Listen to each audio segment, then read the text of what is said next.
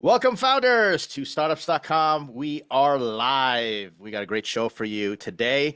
We have my colleague and friend and brother in arms, Ryan Rutan, joining us. He's the chief marketing officer as well as a co founder here at startups.com. And we're going to have the pleasure of hearing from him in just a moment. Before we begin, I just want to welcome Q as our regular host here. She's our producer and editor, and all of you are probably getting to know Jen a lot if you attend our meetings here at startups.com. And this show is brought to you by us, startups.com. We have this podcast called Startup Therapy, and actually, one of the hosts of Startup Therapy is right here, Mr. Ryan Rutan.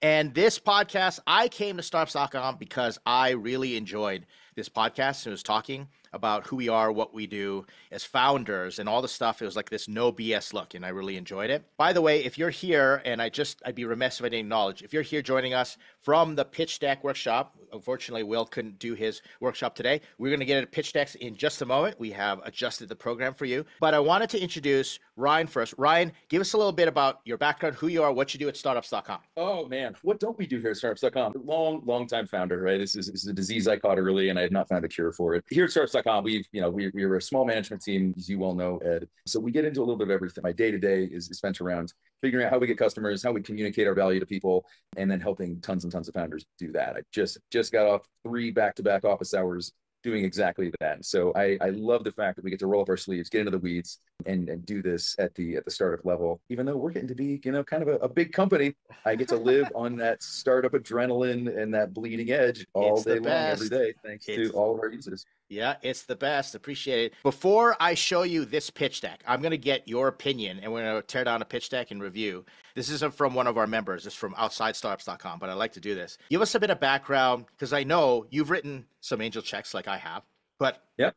how many startups have you done? How much money have you raised? And what's been your history in terms of writing checks for other founders? Oh, geez. Okay. So how many startups have I done? This, this is, I guess, depending on how we count the startups.com portfolio and the ones that we've acquired versus the ones that we've built, it's somewhere between eight and 14. So eight to 14 startups. And, and I think you and I talked about this on a podcast once around like what I count as a startup.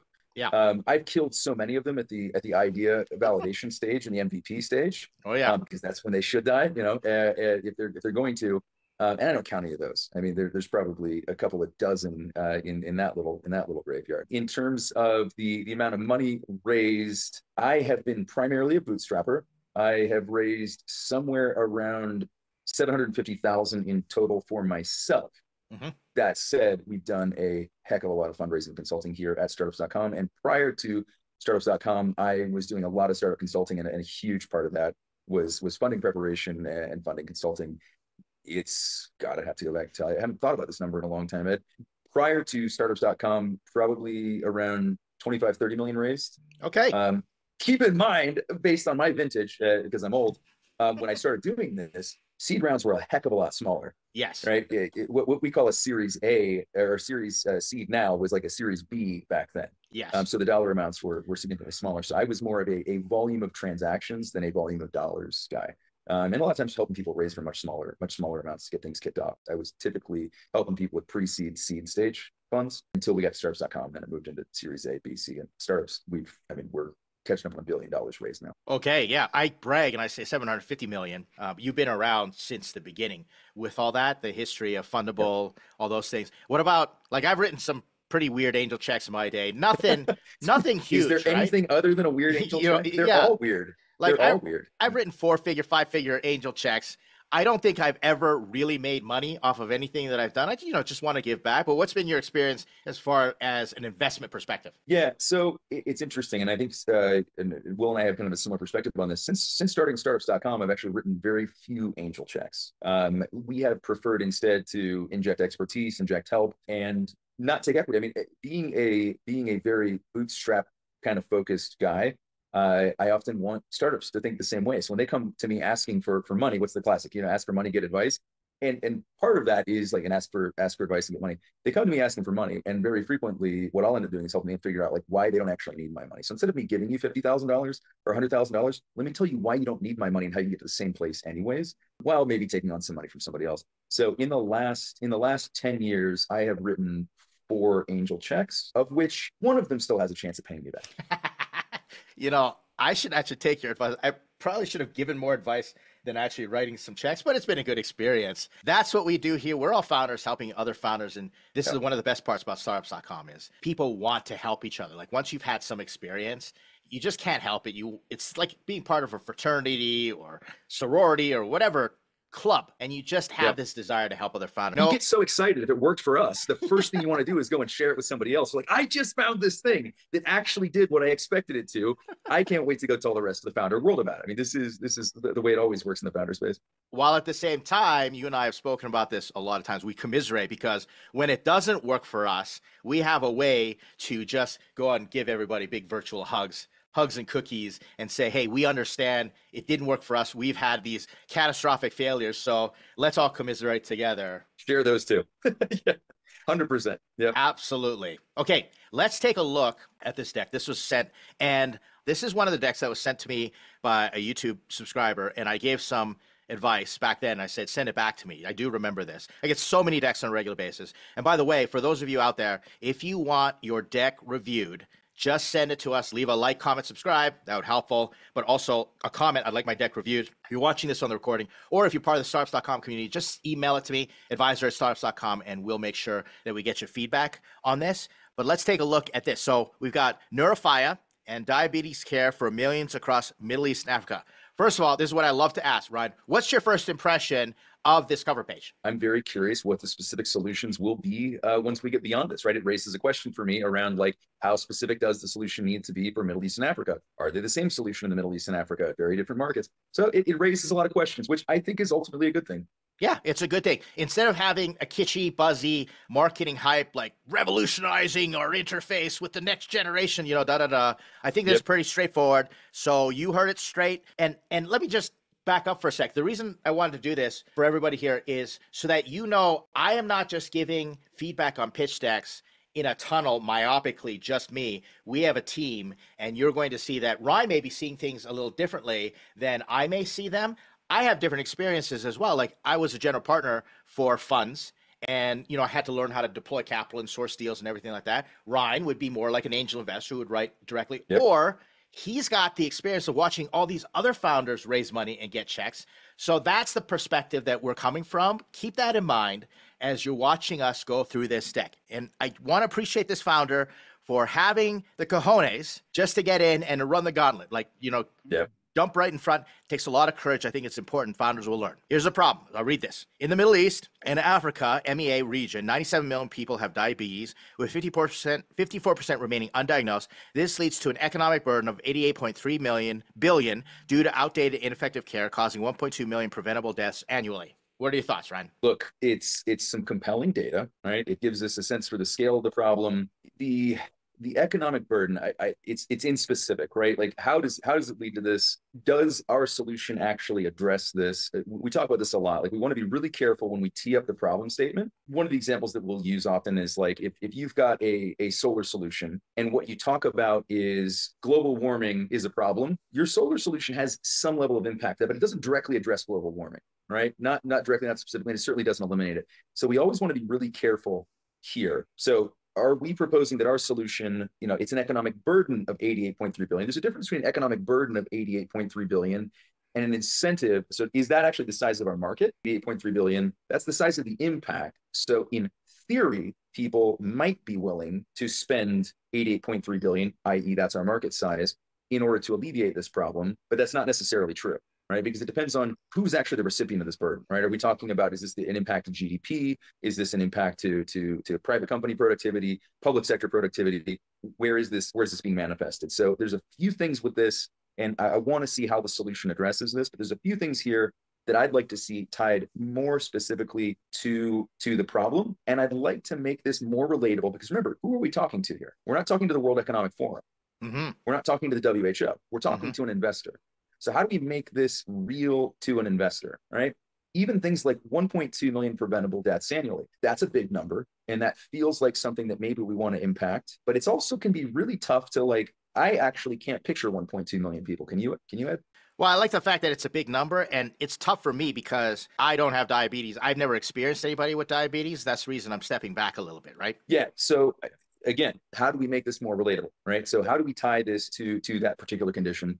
Um, and how do we make this a little bit more more real, concrete, and kind of visible to right? Anytime I can, I like to try to bring a problem down to the level of an individual who suffers that problem because I feel like we can all do the mental gymnastics and multiplication to go from one to 97 million, but it's really hard to work backwards from big numbers. Sure. Right. Same thing. If somebody, if somebody, when we get to like later in the deck, when we're looking at things like the the the, the financials, one of the things that I I love to see, I need to see. If you want me to write a check, thing I need to see is your individual unit economics. This is kind of a reverse of that same concept. So I want to see the, the individual economics of the problem versus just the, the, the scaled problem. Because at the scaled problem level, I don't understand yet. And that's always the problem. Like you might make me understand later in the in the presentation if you keep my attention to later in the presentation. But if you lose me here, we've already lost. So the challenge here is I don't yet know how much of this problem we actually intend to impact and and and how much of this is truly part of what, what we can address. I know we're not to market size yet. We'll get to addressable market, but really there's there's a lot of disconnect between these numbers for me. And that's an important thing I want to highlight. So let me drop the principles here because Ryan demonstrated this beautifully. As soon as you create cognitive friction, it's good that you've got numbers in there. And I'm always advocating get numbers in it. Don't, just don't make an opinion. Like so many people are dying from diabetes. Diabetes sucks, right? The African healthcare system sucks, and we're not helping people with diabetes. The fact that we got numbers, good start. But if you overload it and you start creating that friction, so with this $88.3 billion number, are you saying that 97 million people, it costs $88.3 billion to help them? Or is there another economic burden because they can't go to work, they can't do this, they can't do that? That's the reason being clear and precise and just throwing in big numbers for throwing in big numbers sake is not going to help you. You almost swung the pendulum in the other direction a little yep. too far. And that's a good principle here, but at least you got the numbers. We're tracking in the right direction. But here's where the deck is going to go off the rails a little bit. And you're going to see this problem right away because I get into another problem slide, right? Uh-oh. And th- this is an issue. And, and this slide is jam packed. And now we're even more confused. I'm not even going to spend time on this, but you know, Ryan, what is it about founders do you think that put like walls of text and have like five problem slides and five solution slides and their decks are like 30 pages long? In your experience what happens in their minds for them to keep piling uncertainty. On okay? uncertainty. Uncertainty. I don't know which of these things is likely to have the most impact on my audience. Therefore i'll just throw it all at them it's I get it logically, I get it emotionally. It is absolutely the wrong approach. Uh, there's there's a phrase I'm very very fond of which is communication is the burden of the sender. That slide is the reader's burden. Absolutely the reader's burden. I have to read through all of that. I have to try to make sense of it. I have to decipher it. It is it is absolutely the, the last thing you want to do with with with a slide. No, number one, I now have to try to connect this back to problem slide number one, right? There should never be more than one problem slide, right? This is this is going back to just like not being clear enough around what we what we think is going to be the most compelling um, it's okay to have all this in a working document, right? And to try to understand and to start to pitch some of these concepts to people, ask people, hey, you know, I tell you this, what kind of reaction? If I tell you that, what kind of reaction do I get? But in a final presentable deck, two problem slides and, and, and, this much information. Can you jump back to the slide really quick? For example, we don't really need to, this is this is getting a little more into market size, for example, but when we have two markets, whether they're completely parallel, whether they might be slightly tangential, whether one is an expansion market or not, these are really two markets with roughly the same problem that we're going to solve, we don't need to portray both of these here. We can make this this slide at least that much more simple by just eliminating one of these. And if you have to eliminate one of these, then you just take a look and say which one of these is more compelling. Mm-hmm. Right? I don't need to know about MEA and Africa right now. We can talk about the fact that they're both markets that we're going to address. We actually said that in the very first slide. Um, but then here's some example data, right? I don't need every single bit of data. I need enough data to stay interested in the story. Mm-hmm. The minute yep. we throw too much data, I lose the story, and instead of uh, instead of being somebody who's consuming a story, I have to turn into a data analyst. Right. And on. you've now you've now completely derailed my train of thought, and now I have to make sense of something. Well, let me treat you there, Ryan. Now that we're here, pow, we Don't have another third. No, just kidding. Oh, we we got a middle of the road now we get in a narrative right like if you read this the problem we solve so we just did two problem slides and now we're saying this is the problem we solve i'm thinking to myself well shouldn't we have covered that in the first slide but we got this story now i'm just going to pause for a second by this time if you, if you're a regular investor and you've seen 100 over 100 decks for the week. And we have had an investor on this show, Greg Welch. And I asked him, I said, I look at 10 pitch decks a day. And I asked him, like, how many pitches do you get a week? And he's like, literally hundreds. So we scan them. So Yeah. I'm letting you all know the regular investor, angel or not, has already checked out of this deck. Like, I'm already done. I'm not looking anymore. It took me 90 seconds to disqualify the deck, which is the reason we harp on it. We're going to move a little deeper into idea validation, talk a bit about it, but that's because this is our job. We are here to help you.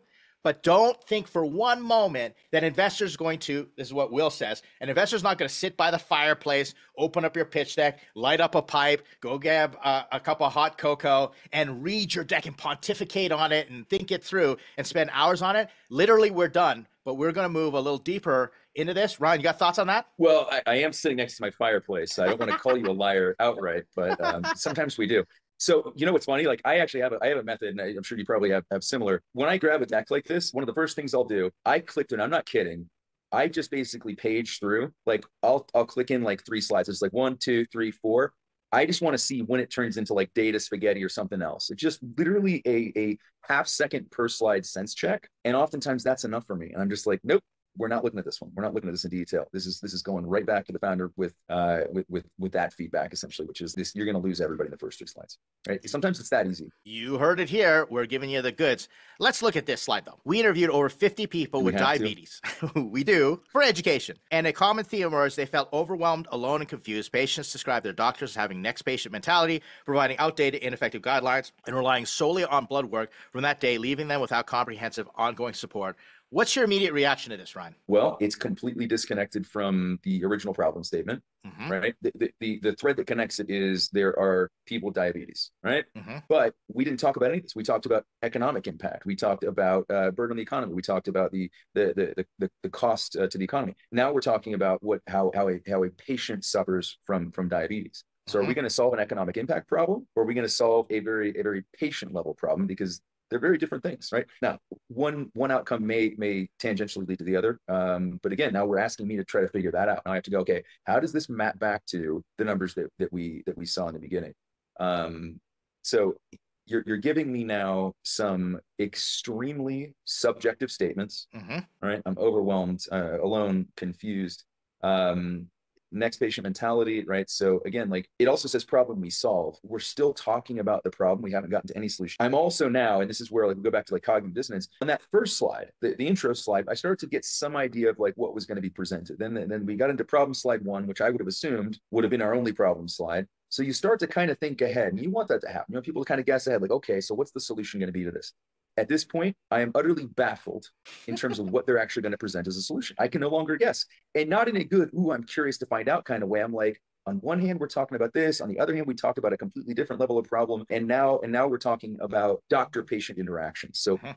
where are we actually going to get involved? At this point, I'm going to assume, I'm going to guess that it's going to be more down to like the patient level and, and how we how we handle that, right? We did talk about the number of patients, number of people have it. We also talked about the number of people who aren't diagnosed. So is this going to be a diagnostic tool or is this going to be a patient workflow? Is this going to be right? So you see where I'm at with this. Absolutely. Literally four slides in, I still have no idea where we're going, and that's dangerous. pitch decks can baffle investors is a great word and a reminder you just don't want to make the investor do work. Like it's No. you don't make it easy for them. Empathize. If you're in the audience right now we've had people kind of come in and you got questions load them up in the q&a box because we're going to start answering them. If this conversation is sparking questions for you put them in. We're going to spend time on that. We'll spend all day on questions if we need to because we want to get you the information that you need my other big issue with this is that we have over interviewed over 50 people. One, you say over 50 people. That's not helpful. And if I, you're I talking, didn't want to touch. I, I, I, yeah, like to me, it's like, yeah, when we're talking about millions and millions of people, and, and we went and talked to fifty. Exactly, I don't not believe it. Doesn't doesn't doesn't give me a lot of confidence. Right? Yeah. And at the same time, I don't believe these testimonies. Now, I'm sure this founder's not lying, but an investor is going to be really thinking about this. And so if you said, you know, we went out and surveyed over, you know, 100,000 people and this is the data, then you got my attention. But if you've done customer discovery, keep it in customer discovery, use it to guide you, but keep it tight. Here's the solution Neurofyas supports diagnosed di- diabetes patients with real time feedback on their health, expert nutritional advice, and 24 7 support from qualified diabetes experts and educators to control blood sugar, improve their lifestyle. For undiagnosed patients, we emphasize early detection and education to prevent serious complications and lower healthcare costs by 10x. Take a deep breath. Ryan, your reaction. Again, we're we're saying a lot here and we're conveying very little, right? We're lots of words, very little takeaway, very little meaning. Real-time feedback, is that digital feedback? Is this are we talking about because if we're talking about continuous glucose monitoring, why aren't we just calling it that? Right. Mm-hmm. They, they referenced it on a previous slide in one of the testimonials. So again, I'm guessing that maybe we're talking about CGM, but I don't know that yet. And then there's 24 from from qualified diabetes experts. Are these doctors? What is a qualified diabetes expert? I don't know what that means. So you're introducing all of this uncertainty in my mind. Every single slide in the pitch deck should make me more certain about what I'm looking at and where we're going. And so far in this deck, I have become less and less certain with each step that we're taking. And it's funny because at this point, I can't even begin to offer some advice around how we would clean this up because I still don't know where we're going. I have to know what we're actually trying to accomplish. And same for you, Ed, before we can start to say, like, okay, here's some things I might change about this deck to make this more clear. I still don't know quite where we're going yet. So I can't even begin to get to that point. So as somebody who wants to help this deck be better, I'm engaged. I'm, I'm going to dig in. We're going to keep looking at this. As an investor, I would I would have I would have written my little parachute out of here a long time ago. This is the issue where founders say we can solve all these problems, but you have to commit to one. I get into these Yep. conversations and founders say, "Do I always have to solve just one problem? We we do so many things. It's so much better than you know what you're describing." I'm like, investors don't care. They want to know what your beachhead is, and Yep. they want to know you're going to dominate, just like Facebook said, we're going to dominate students at Harvard. We're going to get this going over there. Let's back it up and just just pontificate for a moment with us. This was a problem, and this is the problem of the problem is we don't know where it's going because it's split off in all these other directions. But let's just say, for example, the problem is X amount of people go undiagnosed with diabetes. And before their diagnosis, they should be able to get help, but they don't. And this causes an economic problem. It costs X Yep. millions of dollars to help these people. One problem, bang. And then if the solution said, we detect diabetes early with this real cool Fangle Dazzle app that people can track, and here's how we're going to get them on board with that. And it's all about prevention before it happens. One problem, one solution. That's what you want to do. In other words, if you say the problem is something is slow, expensive, and manual, then you solve the problem by making it fast, cheap, and automated. It's as simple as Yeah. that. But these two, this problem is this solution statement don't line up. What do you think, Ryan? I, I agree completely. And, and because we're trying to address more than one problem, and now we're, we're providing more than one solution, it creates this additional dissonance around which data was supporting which. Like, did we clearly, because I'm trying to remember back now, and this is what, you know, maybe an investor will flip back if they're super interested. Most of the time, they're going to go, do I remember why this is important? So, did we ever completely disaggregate the impact of people who are diagnosed but have subpar treatment? What was the economic impact of that? What's the cost of that? Ergo what is our potential upside in solving it versus the undiagnosed i do not remember a clear delineation between those two we sort of lumped all the diabetes data together That's right. so here's the impact and then there's a bunch of undiagnosed people so does that mean that we're not even does that mean that if they're undiagnosed we have an estimate of that did we include that in that economic data or is that is that a you know uh, roughly 50% additional people who are undiagnosed and and so roughly 50% undisclosed or unaccounted for economic impact at this point or not so again it's just there's a ton of uncertainty here and that creates a lot of discomfort for for investor it's, it's definitely not making me push my pen towards the checkbook let's let's summarize. So for all of you working on your pitch decks, really what it do- boils down is problem solution, and we'll talk about market size in just a moment. But those are the three most important slides that really establish the direction for your deck. Market size because you, the investor needs to know if this is a big enough market to warrant the size of check. If they're a scout or an analyst or a partner, they need to be looking at big markets, right? So we're going to get there in just a moment. But the lesson here is if your problem and solution aren't tight, everything goes off the rails. Like we're just going to completely check out. And that's what I'm going to do at this moment in time is I'm going to send this deck back to the founder. I'm going to say, you need to rework your problem solution in one slide each. If they don't fit on one slide each, then we've got a major issue. I don't want to look at the market size because we've already kind of talked about it in terms of this is how many people. So I'm going to guess that we're going to go in that direction. But if you can come up with the right problem and the right solution, here's my question, Ryan. How do founders do that? Let's say we got founders on this call right now and they're like, I'm showing my deck around. Nobody understands the problem solution. It doesn't make sense. How do you narrow it down or streamline it, make it concise so other people can understand? Of course, there's some necessary context there, right? It depends on the type of solution we're pitching. Depends on your audience. With something uh, that I, it, where it's very relatable to a large number of people, right? This is this is diabetes. This isn't a, an extremely rare, you know, 0.005% of the population blood cancer, right? So this is something that people have context for and have some understanding for. So when we have that, we know that there's there's some general context for it. We play on that. And this is where again, like I said at the beginning, I like to bring it down closer to an individual level so we can make this relatable, right? The more relatable we can make this now, we can't necessarily know like if your investor that you're talking to has diabetes, they will understand at a very different level. If they have a family member who has it, they will have a very different level of understanding. They clearly know that it's a problem, that there is economic impact, all this other stuff. And so we, we want to start there. We want to be as relatable as possible with the problem and how we how we present it to people. Again, communication being the burden of the sender. Think about how they're going to think about, feel about, and wonder about the information that we present. Right. And we want to create some level of all three of those elements. But at this point, this one's just creating a lot of wonder not of the wonder, not of the good kind, not like, oh, this is wonderful. It's just making me go, I'm still not sure yet. so when you're thinking about your problem, think about the way that it will will most be easily received by the population you're pitching it to. And right, and this changes, of course. If we're pitching this to a customer, if you're talking to the person who has diabetes, you don't talk about the fact that 97 million people, they don't care. Mm-hmm. They care about the one person who has it, which is them, right? And so when we consider our audience, this often becomes significantly you know easier. So we want to think about what are we trying to do? We're trying to compel somebody that there is enough of a problem and one that's easy to understand, and that we have a solution that is elegantly aligned with the specific problem we laid out. Right. And I think this is where founders really get it wrong. They think that like the more problems we throw out there, the better. It's like, oh, we do all this stuff. It just makes it so much harder to understand that we elegantly match our solution to the problem. Right. Well, we can just do that at one level.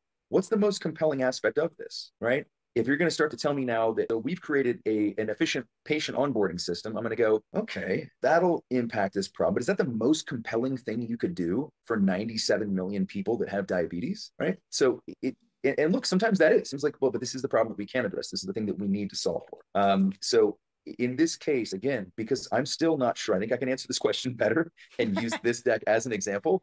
When we, if we go a little further again, I really do understand because I'm still, I, I, maybe I'm missing it. Is anybody else clear on exactly what this does? It doesn't. It's not clear. And if we dug deeper in, I'm sure it would become clear, but we're not even going to do that because we'll spend the next three hours trying to dig through. And that's the whole point of this exercise. Is that, what does solution slide number two look like? Is there a solution slide number two? It goes into. I hope not. No, there is. Guessing. It goes oh. into it goes into how it works, like it's a platform, okay. but it's pretty general. And again, the whole point of this is is that if you lose the investor through problem solution, yep. your the rest of your deck is moot. And so I'm going to be a little hard on founders because what happens is founders keep sending to me and they torture it to death and they just say, here's my yeah. next, next version. And I'm going to get to the point where it's like, if I can't get through a problem solution and be super clear in it, I'm just not going to look at the rest of the deck is what's going to happen. Right. That's what, that's exactly what happens. And that's the best lesson that all the founders are going to learn here in how investors react to their deck. We do have some questions though. I think Jen, what do we got? All right, so the first question that came in is, do you have a standard template for the pitch deck you feel is good to use? I'll feel this super quick. Yes, we do have a standard template, but big caveat. If you go to Sequoia, they want their decks a certain way. If you go to A16Z, they want their decks a certain way. How do I know? We talk to them. Like we've literally heard from the associates, this is the way that we want our decks, and they're different because that's just how it works. So it's going to be your job to find a general idea of what investors like. And there's so many different formats that we use. For example, Sequoia really likes the problem solution market size format. Other investors like, I want a purpose statement, I want an overarching sort of like a one sentence executive summary. And so founders get all upset with us and say, You told us to do this. And I go, We have just given you tools. You have to decide. It just so happens, Sequoia being the biggest game in town, we happen to use. Everybody kind of likes to use their thing because we follow the patterns. So we do have templates and we can't give them to you. If you're startups.com, just ask us. I'll send you a template with a general guidance in terms of what you should put in your deck, but it's a general rule of thumb. It's not set in stone, and it's going to be up to you to decide what works best for you, tell the story, and we can go from there. Ryan, how do you pick what slides go into your deck? Let me let me let me bounce off that. So that that's gonna that's gonna depend highly on the evidence uh, and the audience that I'm gonna go pitch, right? So that depends on who I'm gonna go talk to. To your point, different people are going to want to see it different ways. Rather than a template, what I like is a framework for communicating, right? And I'm not trying to split hairs or, or, or mince words here, but if you think about like how we deliver the, the our pitch deck perfection or, or the pitch deck boot camp, right? What we have is an exercise to help you clarify the key points that need to be communicated. Temperature around the slide, in my opinion, can be very dangerous because then people start to try to plug in rather than think through. They're like, how do I make my stuff fit this? That's not actually the exercise, nor is having one template versus another. The exercise is there are a number of things, including the problem, the solution, how it works, the market size, the team, the traction, all of these things, regardless of the order in which they appear, whether it's 12, 14, 16 slides, there are a number of things that as a founder, you have to know how to clearly communicate. Regardless of the template that you're going to use, if you nail that part of the exercise, applying it to whatever template whoever wants to see becomes very, very simple. And so I think this is what we've done a really good job at startups.com, coaching people through the exercise of understanding what needs to be conveyed. Then you can decide whether it goes on a post-it, a postcard, a long form letter, a billboard. The medium matters a lot less, i.e. the template in this case matters a lot less than your ability to understand what needs to be said and why it needs to be communicated in that way. That's where I want founders to focus. If you're thinking, I need a template to do this, you're looking for a shortcut to a problem that doesn't exist. Mm. You're looking for a shortcut to quickly finishing a deck that probably nobody's going to want to read because you didn't go through the painful exercise of learning what and how to communicate these critical points. Couldn't have said it better myself. In other words, don't download Uber's pitch deck and swap out your logos and numbers. Find and replace. Go. Right? okay. Yep. Don't do that. Don't use that as no. a template, but we definitely have the guidance for you. Next question. What is it, Jen? I am going to jump to question number three, just because this kind of tails off on that. Person's asking, do we have to change the pitch deck based on who we are pitching to? Let's say for an angel who is super technical versus a non-technical one. Great question. And yes, a thousand times, Danielle. Like it is absolutely again, I'm gonna say it, I've said it twice already. Communication is the burden of the sender. That means that we have to think about who we are communicating to. We have to do our best job of making that as easy for them to absorb as possible and, and to get the right reaction out of them. So yes, if you're dealing with a non-technical person going on and on about your database structures and, and, and how you guys hack Heroku, they don't care. They're not going to understand. It's going to go over their head. It's going to make them uncomfortable. Last thing we want. Same thing. If you have a, a very highly technical founder and you gloss over your stack, they're going to go, or a technical investor, they're going to go like, well, I want to know about this, right? I want to understand because this is important to me.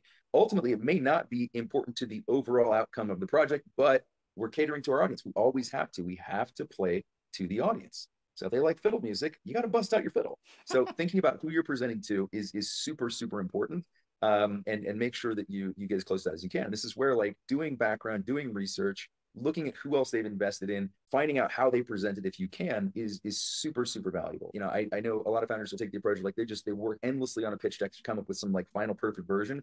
And then that's just the one that they use. There's no final perfect version unless you're only presenting to one investor, right? So don't get too caught up slides layout, don't get married to language. And of course, modify. Like if you consistently pitch a particular slide and people lean back and cross their arms or like tip their heads or look at each other, like take that feedback. Like they're not understanding, they're not resonating, they're not catching something there. Make those changes. But in addition to that, do everything you can to understand your audience and make sure that you modify that. And it's going to change from angels, friends and family are going to need to hear it in a very different way than angels are going to need to hear it when you get into Series A, VC, VCs, micro VCs, different than than a PE firm. All of this stuff matters. This question is very common and my answer is common like, don't be surprised based on what Ryan said. That's the principle. Don't be surprised if you have 10 different pitch decks by the end of the day. Yep and you you pull it out. You're gonna always have your master pitch deck, but there's that introductory screener deck that goes out in the introduction. Then there's a technical one where you share your stack. All those things combined. I've even had different pitch decks for different co-founders because sometimes different co-founders present, and the decks have been completely different. Same problem, same solution, but the story inside has been different. All those things. So don't be afraid to try all the different versions, test them out, and like I said, don't be surprised if you have multiple versions. Next question. We got one more, Jen? Yes. The last one we have is from Chris saying, I've heard 20 to 30 words max per slide. Is this a general rule? How about balance of visuals and text in slides? The number of words per slide, it, it, certainly there there is a max. Like if, if it looks like a wall of text, it's a wall of text, right? Nobody wants to look at a wall of text um, I just try to go back through and look at it and say like it's not really about the, the number of, of words. It, clearly, there's there's a number that's too many. I just go back through and like ask yourself, does this word add anything to this? Is this helping my understanding? Is it adding anything to this, or or is it and sometimes even hurting the understanding? And so just try to try to think about how how you can strike that balance. There, there's, and I'm not going to remember who said it now. It may have been Thomas Edison. Make a thing as simple as it can be, but not more. We want to make sure that we're we're trimming fat off the steak and not muscle. Right? We don't want to give up any of the. Well, I actually like fat and forget it. The steak analogy doesn't hold here. The metaphor was bad. Sorry, guys. We want to cut fat and not muscle. All right. We'll, just, we'll use me as the example. I need to cut some fat. I don't need to cut any muscle. In that case, we want to be clear that like when we're when we're going through and we're deleting things how does it change the understanding? Just take a couple of those words out reread it. Like did that did the augmentation help anything? Ask other people for feedback because you cannot have the expectation with investors that i have with my children. My expectation with my children is that they hear what i meant and not what i said right? Investors will will hear what you said. They're not going to hear what you meant. So make sure that every word on that deck and just refine and refine and refine. I've realized over time i cannot write simply. I can simply edit Mm, yeah. Right. And so spend your time editing. I cannot write simple, not the first time. I never get it right the first time. I have to get it out there and then I edit down and edit down and edit down and edit down and just make sure that you're not changing the meaning too far. And that's what I meant by here, what I, you know, make sure that you understand what I meant, not what I said in this case, we don't have that luxury. So we have to make sure that we haven't trimmed away anything that does meaningfully change what people will take away from it. And it is an art and a science. This is where, like, I love to look to some of our most famous ads, the ad examples that we have. Ads, the best ads you've seen, the, the ones that you know of, the ones that you remember, those have all done a very, very good job of this. How do we make it visual? How do we make it falsifiable? How do we make it clear and concrete? Right? How do we make it something that we can say that nobody else can? When we bake these elements into what we're writing in our decks, we're writing better decks. Right. But edit, edit, edit. So many times it's people like they, they they finally figure out what they think they want to say and then they leave it. And it just doesn't get enough editorial pass and, and, and bounce it off people. Like I I asked this question in our pitch deck uh, the, the, the session that Will and I do, the the public session, uh, pitch deck perfection. One of the questions that I ask is, you know, where are you with your pitch deck? Uh, and there's a couple choices there. Who has seen your pitch deck? Right. I put it out to investors and, and, and some of the general public. Only my team. Only my mom. Right. And very frequently, like, are, are you kidding? Only my mom right? And that's because like so very often people are working on a deck and they're so worried about perception they're not letting anybody see it. I'm not suggesting you have to put it out to investors first. Let somebody see it right? Mm-hmm. let your friends look at it and see do they understand any of this? Now they're not investors but they're still rational humans. Well not all my friends but a lot of my friends are.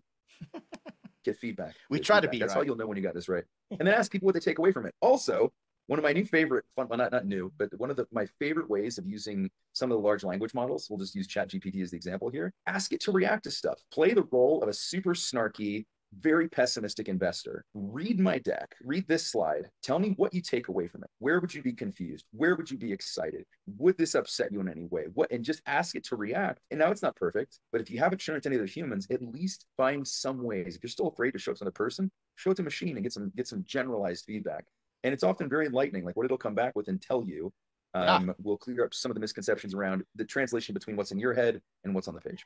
You know what? I haven't actually done that. That's a good hack. Let me give you another ChatGPT hack for those of you checking this out. I will literally ask ChatGPT, I'll say, put it down in a 30 words or less because ChatGPT tends to kind of bloat things to have it make yep. sense. And then I'll say, is there anything I'm missing from it if you had to add a few more words or try cutting that, that down a little more? And ChatGPT is fantastic because it will do comparisons. Like you can say, give me three versions of it and compare, and you'll be able to see it. So doing comparisons and research using ChatGPT to get that reaction, that's a hack that I use. So try it. The other thing I'd like to add is, yes, generally speaking, you can get headline statements down into 30 words or less. And then you add three bullet points, you're the 35 words for the pitch slide, the slide under itself. I have tested it, I've seen it, it works. But when you've got a bio slide and you've got amazing logos that you put, use logos, those visuals, that's social proof, or you got bullet points, you may need more than 30 words for the bullet points, but don't write a whole biography that someone has to squint and sit there and you know curl up by the fire and they go okay i'm reading a memoir so again going back to what ryan says the burden's on you make it easy for the investor great question i hope this has been helpful let's move on to the next session because we want to kind of kind of pull out from Ryan everything we got. We want to get some good clips so everybody can learn. Okay, we're going to do this as a bullet round. So Q has gathered some questions, and so Ryan, she's going to ask these questions in rapid fire succession. I'd like you to give the shortest answers as possible. Let's get through these questions, and then I want to get your hot take on our article. Q, you ready? I'm ready. Okay, let's do it. When it comes to pitching investors, what are the top three things a pitch deck must convey to stand out in early stage funding rounds? Compelling problem that's understandable, compelling solution, compelling market size. It's it's that simple for me, right? It, these are the three elements because the rest of it If I don't care about the problem or I don't believe the problem exists or I don't believe it's big enough, I'm not going to care about your solution. Even if I do care about your problem and I then I don't believe that your solution is viable, I'm not going to care about the rest of the deck. If I care about your problem, I care about your solution, but it turns out it's a really tiny market size, I may love this idea. I may want you to succeed, but I'm not going to invest in it because that's how I get paid back. So if I'm not hitting on these three things in an investor pitch, do you think I care who your team is? Do you think I care what your traction is? Do you think I care how it's done? No, I don't care how the sausage is made if I don't care, if I don't think that it's compelling sausage. So none of it matters. So problem solution market size for me will always be the most important things that we need to convey in the pitch and they need to tie together. And that we had a great example of that not working today, unfortunately. Are we ready for our next question, Ed? Rapid fire, keep them coming. How should founders go about securing their first paying customer, whether B2B or B2C? By any means possible. Uh, this is one of my favorite topics, and one of the things that I see founders do wrong when it when it comes down to getting our first customers, they start looking for efficiencies. Start looking for efficiencies when what they should be looking for is effectiveness. Right? I don't care about efficiency at the startup stage. I don't care how do we send a thousand emails? How do we automate this process? How do we do? Literally, don't care. What I'm looking for is efficacy. If you have to walk around and talk to people, that is not efficient. It doesn't scale. Who cares?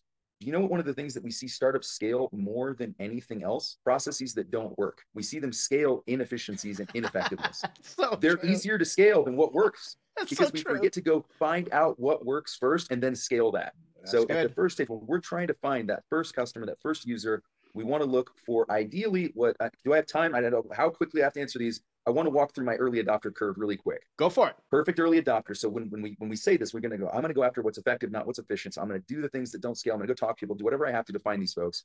The folks I'm trying to find, my early adopters, are not the people who necessarily suffer most from my problem, not the people who might pay the most for my my, my solution. I want to find people who are aware of the problem already, so I don't have to educate them. I want people who have already started to look for solutions so that they're aware of what's available. I want people who have already tried some of the solutions so that they know the last and my favorite part why they're still dissatisfied with the current solution set. And then my unique value proposition aligns with that deficit, with that delta between what they want and what they're getting. And that becomes how I get my first customer. Love it. Let's keep going with the questions. Let's skip the hot take article for today because I think we're going to learn a lot more. Q, how many more questions you got? We've got three more. All right, let's try and bullet through. We got eight minutes. Let's do it. How can founders communicate long term vision to investors without overselling? by by not overemphasizing it and by having a short-term plan. I can shortcut this into deliver a pitch that aims at the moon but explains how we clear the fence. Awesome. That's great. What's the simplest, most efficient approach for building an MVP that attracts early users and investors without overcomplicating the development process? Divide divide what we're validating. Too often what I end up seeing isn't an MVP. An MVP, too often we we, we get this wrong in my opinion. I've coined a phrase a number of years ago that I call the hmm, MVP. This is the MMMM MVP, the much more minimum minimum viable product because most people build a beta or just their damn product and they That's go, true. here's my MVP. No, that's not an MVP. An MVP is designed to validate your biggest, scariest binary assumptions that if they're true, we go forward. If they're false, we have to rethink things. So if I believe something to be true, my MVP needs to be designed to validate that as true or false. I want to figure out a falsifiable question that I can ask, and then I want to go find out if it's true or false. Very often, MVP, we end up trying to bake way too much and we're trying to validate a whole bunch of stuff. We're not good at multivariate analysis. This is why when we A B test, we literally only change one thing. And yet when we build our MVP, we throw all these variables in and then we try to say, well, that worked or it didn't. And then we ask why. We have no idea. What would you change next? I don't know. Why? Because you tested too much stuff. So for me, MVP is a process, not a thing. And it is about, it's a series of experiments, of tests, of micro products, of presentations, of questions, of service engagements that validate these super big binary go, no go type problems. That's great. Thanks, Ryan. Our last question is What are some quick and cost effective ways for founders to validate their startup idea before they start building the product, especially when time and resources are limited? This one, uh, this one's a little context dependent because I think it depends a lot with this B2B, B2C, like where we go to get the answers to this. See previous example, which is think through what do we actually need to validate? What are the what are the big ones? Like we don't need to start validating like second, third, fourth tier features. We need to think about like when presented with a pathway to a solution that we believe they want, have we validated they actually want the outcome, right? Are they are they invested in the transformation? And then are they willing to follow the path that, that we that we take them down, right? So, and if they're willing to do those things, upon reaching the path, do they actually achieve that value, right? And so this is a way of saying how do we boil this down to its simplest part? Before I go and build product, before I go and even build an MVP, I walk somebody through what's required. Again, what's effective versus what's efficient. This is not an efficient way of doing this at all. It's a very effective way, which ends up being time and cost efficient. Okay we want to get to an understanding very quickly of if we do, if we can get people to do all the necessary things to achieve the value that we think will achieve the value, do they achieve the value? And is that value commensurate with what we would or did charge them? Right. So it kind of depends on what stage we're at with the product when, when we begin to engage in this, how far down the, the ideation and validation MVP curve we are. But the thing I'm always trying to get to, because if not, we run a real risk of building a clever marketing trap and not an actual business. Mm. Right. We see this all the time. Like there, there's there are people on the internet, I shall not name any of them, who every couple of months you're going to see them with some new digital product, some new take on SEO or how to market or this growth hack or that thing, and they're going to teach it to you. Right. And there's a reason they have a new one all the time. And it's not that they're just at the cutting edge of stuff. It's because they have to completely change what they're selling because it's already run its course and it doesn't work for people and they can't sell any more of it. Right. They built a clever marketing track, but they didn't provide value which is what builds a business. Those are good. Some pearls of wisdom there, my friend Ryan. Appreciate it. Okay, that brings us to the end. I did see another Q&A come in. We don't have time to answer that question. Make sure come back. We'll try and answer it. I believe that it's from a member, so we can handle that as part of startups.com. That's it for us. We're here every Tuesday, Wednesday, Thursday at the same time. Appreciate everything that Everybody's contributed all the questions. Q, as always, what you do. Jen, thanks for handling all the chat and the FAQ. Ryan, thank you for joining us. I'm going to give you the last word. If you have to plug, if you have to plug us, startups.com for everybody who's going to be watching this, what would you have to say? Oh man, well for this particular episode, um, given that we were so pitch deck focused, if you haven't already, jump into the pitch deck perfection workshops or the pitch deck doctor office hours. That's where you're going to learn the, the framework that I referenced earlier around how we teach you how to communicate the most critical things that need to be communicated, regardless of what order they appear in or what slides that they're on. Super super insanely valuable. We are doing one of those live, whether you are a member or not, next Tuesday, one o'clock Eastern. Check the site, watch your email, and we will be putting these out on the socials. The, the link's not live for registration yet. It will be in about right on. Morning. We will put those links right there in the description. Check us out. A lot more free resources here at startups.com. That's it for us today. Thanks everyone for joining. I'll see you next time.